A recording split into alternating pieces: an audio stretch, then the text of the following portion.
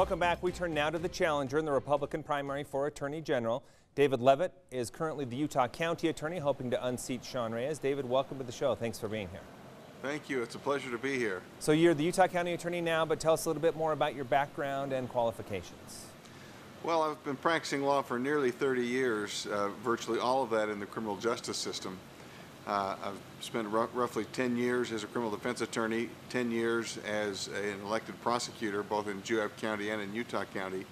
And I've spent 10-ish uh, years as a legal reformer in the former Soviet Union, helping the countries of the former Soviet Union really uh, attain a criminal justice system that's similar to ours. And so I, I have a, a, a broad background of experience in criminal justice. I've also been a city attorney to four different cities and then the civil advisor to Utah County and Juab County.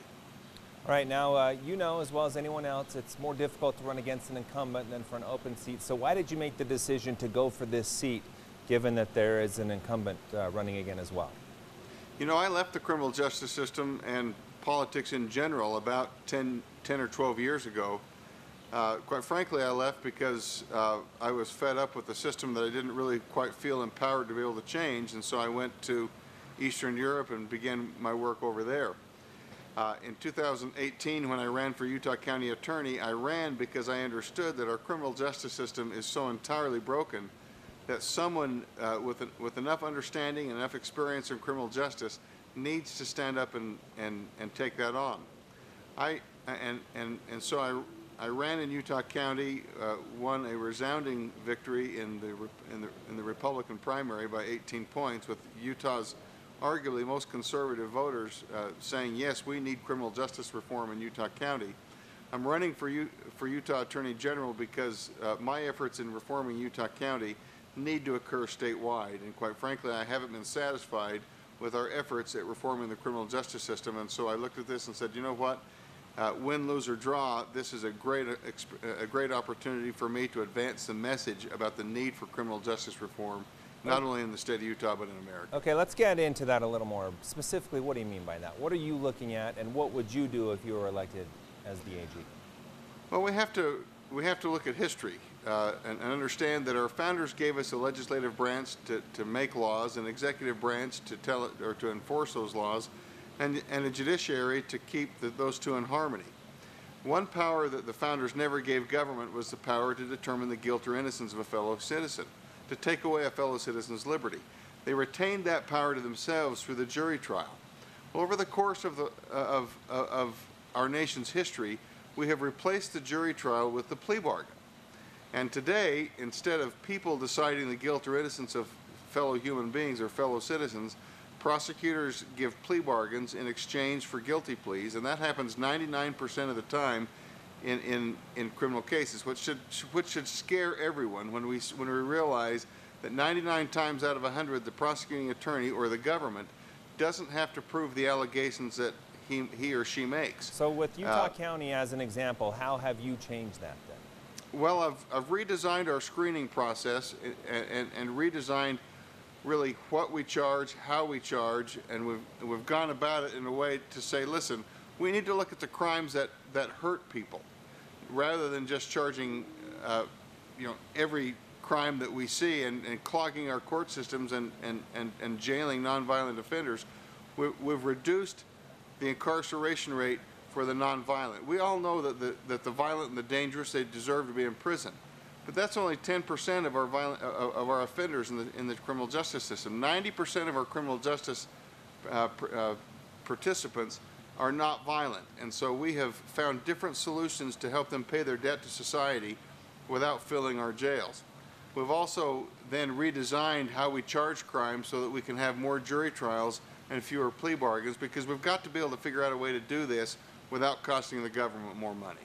I want to get your thoughts on a uh, very big topic right now, and that is police reform all across the country. Of course, we all watched uh, recent events, and uh, that now has become a big topic.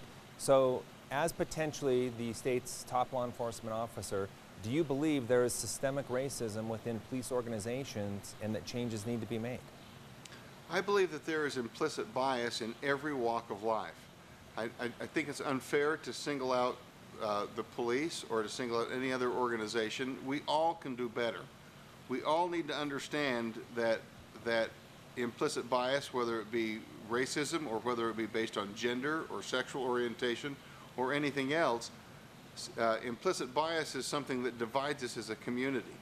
Now, police reform uh, is part and parcel with with reforming the criminal justice system, and and and, it's, and it is because of this.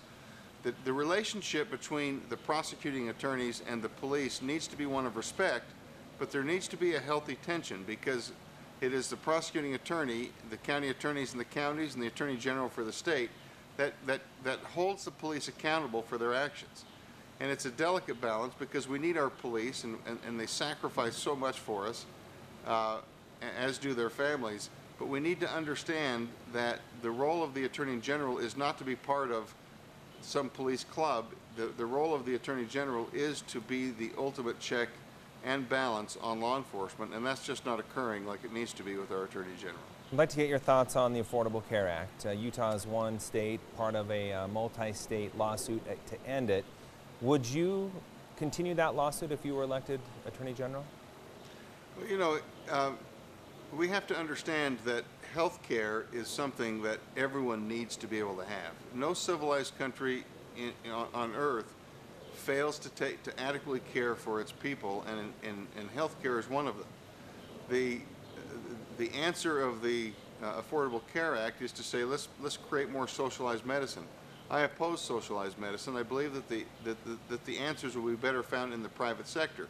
However, I don't think it makes a whole lot of sense to throw, to, to, to, throw something out when we don't have something in its place to, to take its place.